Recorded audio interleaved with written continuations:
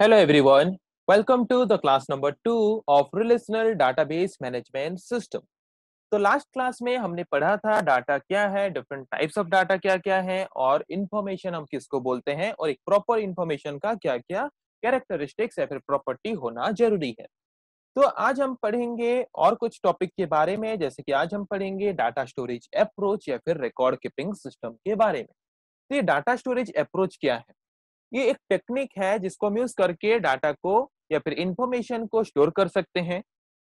उस तरह के टेक्निक को हम बोलते हैं डाटा स्टोरेज अप्रोच या फिर रिकॉर्ड कीपिंग सिस्टम तो सपोज़ आप कोई भी डाटा या फिर इंफॉर्मेशन जो भी कलेक्ट करते हो उसको अगर आप स्टोर करके रखना चाहते हो तो उसको स्टोर करके रखने के लिए हम जो भी टेक्निक्स यूज़ करते हैं, उन टेक्निक्स को हम बोलते हैं डाटा स्टोरेज अप्रोच और record keeping system the technique used to store data and information manually or electronically in paper, files or database for future use is called as data storage approach.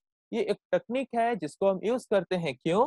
Data को store करके रखने के लिए फिर information को store करके रखने के लिए चाहे वो मैनुअली हो या फिर इलेक्ट्रॉनिकली हो। मैनुअली मतलब क्या? कि अगर आप कॉपी में अगर पेन पेपर यूज़ करके अगर आप उसको कोई भी डायरी में मेंटेन करके रखते हो तो उसको बोलते हैं हम मैनुअली डाटा स्टोरेज अप्रोच और अगर हम इलेक्ट्रॉनिक इलेक्ट्रॉनिकली मतलब कोई भी इलेक्ट्रॉनिक डिवाइस यूज़ करके अगर हम डाटा स्टोर करके रखते हैं तो उसको बोलते हैं electronic data storage approach okay तो अगर कोई टेक्निक यूज़ करके चाहे वो मैनुअली हो कॉपी किताब में हो या फिर कंप्यूटर में हो, अगर हम डाटा को या फिर इंफॉर्मेशन को स्टोर करके रखते हैं, ताकि वो फ्यूचर में हमें जब भी ज़रूरत पड़े हम उसको यूज़ कर सकें तो उस टेक्निक को हम यूज़ बोलते हैं, क्या बोलते हैं? उस टेक्निक को हम बोलते हैं डाटा स्टोरेज अप्रोच और रिकॉर्ड कीपिंग सिस्टम जिस किस किस मेथड को या फिर किस टेक्निक को हम बोलते हैं डाटा स्टोरेज अप्रोच जिस टेक्निक के माध्यम से हम कोई भी डाटा या फिर इंफॉर्मेशन चाहे वो मैनुअली हो कॉपी किताब में हो या फिर इलेक्ट्रॉनिक डिवाइसेस में हो स्टोर करते हैं।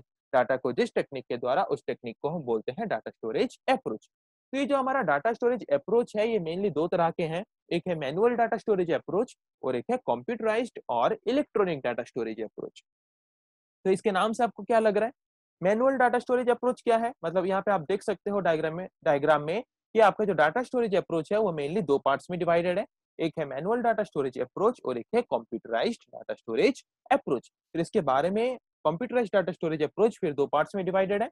एक है फ़ाइल बेस्ड सिस्टम और एक है डाटाबेस सिस्टम फिर डाटाबेस सिस्टम दो तरह में डिवाइडेड है, एक है डाटाबेस एप्लीकेशन और एक है डीबीएमएस इसके बारे में हम आगे पढ़ेंगे। आज का हमारा टॉपिक था कि डाटा स्टोरेज अप्रोच क्या है जिस टेक्निक को यूज़ करके हम कोई भी डाटा या फिर इंफॉर्मेशन अगर हम मैनुअली या फिर कंप्यूटराइज्ड मेथड में अगर या फिर इलेक्ट्रॉनिकली अगर हम उसको स्टोर करके रख पा रहे हैं तो उस तरह की टेक्निक को हम बोलते हैं डाटा स्टोरेज अप्रोच तो हमने ये देखा कि डाटा स्टोरेज अप्रोच मेनली दो तरह के होते हैं.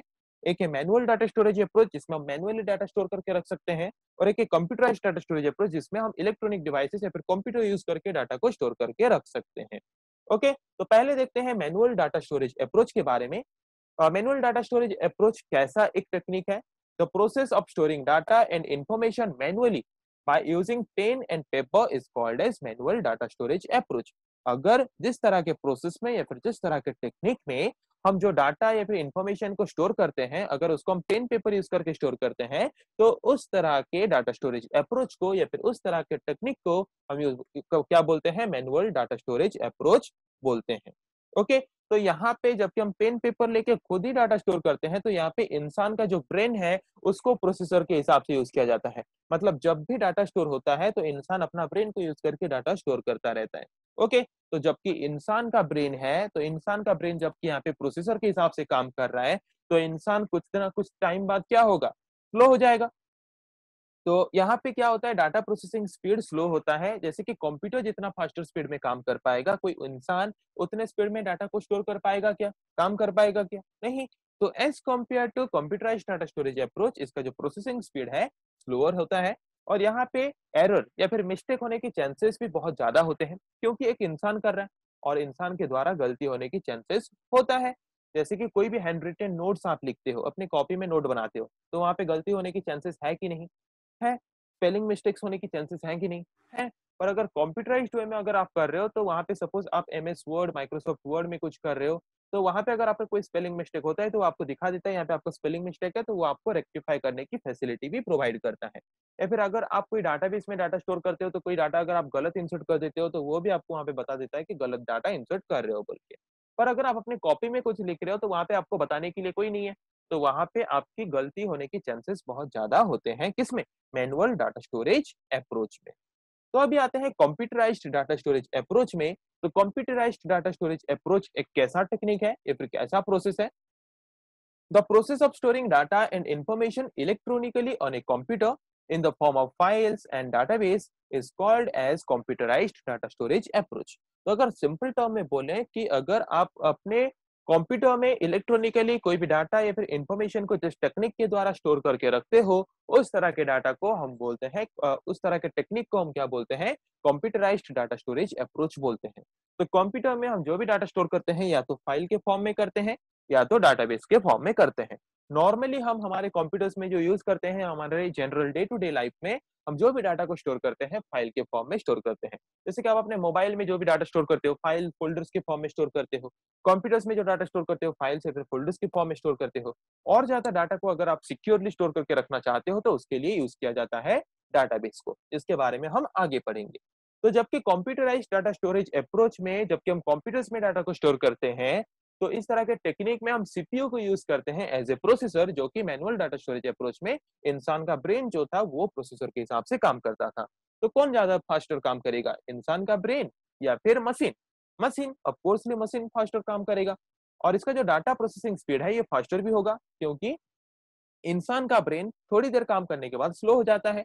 पर कंप्यूटर का ब्रेन जो है सीपीयू वो एक मशीन है, उसको इतना भी काम करा लो जितना घंटा काम करा लो, वही फास्टर स्पीड में ही प्रोसेसिंग करेगा। तो इसीलिए कंप्यूटराइज डाटा स्टोरेज अप्रोच में जो प्रोसेसर मिस करते हैं, उसका प्रोसेसिंग स्पीड फास्टर होता है as compare to manual data storage approach okay और जैसे कि हमारे मैनुअल डाटा स्टोरेज अप्रोच में जबकि इंसान वहाँ पे डाटा को स्टोर करता है तो वहाँ पे गलतियाँ होने के चांसेस ज़्यादा होते हैं। पर यहाँ पे जबकि मशीन डाटा स्टोर करके रखते हैं तो यहाँ पे डाटा स्टोर करने की जो मिस्टेक्स होने की चांसेस जो है, वो बहुत ही कम होते हैं या फिर बिल्कुल भी नहीं होते। तो जैसे कि आप word file excel file access file ऐसे कुछ फाइल्स हैं, जिसको यूज़ करके हम क्या कर सकते हैं, हमारे कंप्यूटर्स में इलेक्ट्रॉनिकली डाटा को स्टोर कर सकते हैं फ़ाइल के फॉर्म में या फिर डाटाबेस के फॉर्म में। तो ये फ़ाइल बेस्ड सिस्टम या फिर डाटाबेस सिस्टम क्या है, इसके बारे में तो हम आगे पढ़ेंगे, क्योंकि कंप्यूटराइज डाटा स्टोरेज अप्रोच में हम डाटा को मेनली दो तरह से स्टोर करते हैं, या तो फ़ाइल बेस्ड फॉर्म में, या फिर फ़ाइल बेस्ड सिस्टम के फॉर्म में, या तो डाटाबेस सिस्टम के फॉर्म में। तो ये फ़ाइल बेस्ड सिस्टम क्या है और डाटा डाटाबेस सिस्टम क्या है? दोनों के बीच डिफरेंस क्या है? दोनों में एडवांटेजेस डिसएडवांटेजेस क्या है? ये तो हम नेक्स्ट क्लास में पढ़ेंगे। आज का हमारा टॉपिक था कि डाटा स्टोरेज अप्रोच या फिर रिकॉर्ड कीपिंग सिस्टम क्या है? अगर हम कोई भी टेक्निक यूज़ करके हम मैनुअली हो या फिर कंप्यूटराइज हो या फिर इलेक्ट्रॉनिकली हो, अगर हम डाटा और इन्फॉर्मेशन को स्टोर करते हैं तो उस टेक्निक को यूज़ कर, बोलते हैं हम data storage approach data storage approach mainly दो तरह का होता है manual data storage approach electronic और कंप्यूटराइज डाटा स्टोरेज अप्रोच अगर आप पेन पेपर यूज़ करके कोई डाटा को स्टोर करते हो तो वहाँ पे हम बोलते हैं उसको मैनुअल डाटा स्टोरेज अप्रोच अगर कंप्यूटर यूज़ करके कुछ डाटा स्टोर करते हो तो उसको हम बोलते हैं कंप्यूटराइज डाटा स्टोरेज अप्रोच पर कंप्यूटर में हम जो डाटा स्टोर करते हैं मेनली दो तरह से डाटा स्टोर कर सकते हैं फ़ाइल बेस्ड सिस्टम के फॉर्म में और डाटा बेस्ड सिस्टम के फॉर्म में। इसके बारे में हम नेक्स्ट क्लास में पढ़ेंगे। आज के लिए इतना ही। Thank you